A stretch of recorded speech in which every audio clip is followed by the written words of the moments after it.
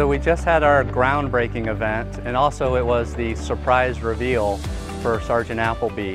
And we told him that this is his house, the slab that I'm standing on right now.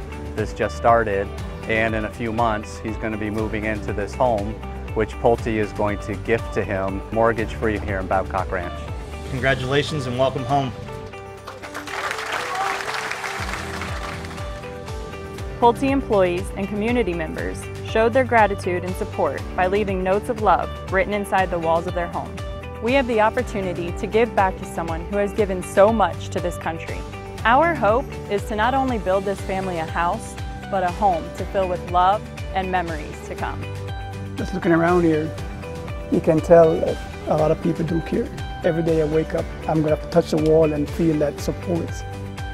The project is complete. We started five months ago building this home. Today's the day that the Applebys got the keys to their house. It's such a fantastic celebration.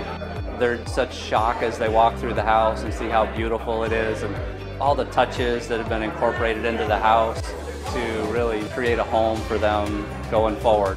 One of the phrases that comes to mind is it's better to give than receive. I think everybody feels that today. The Built to Honor program is such a great program for the community and for our veterans. It's really special to be here today. This is definitely a symbol of, um, of love from everyone, the donors, the investors, the contractors that build this home for us.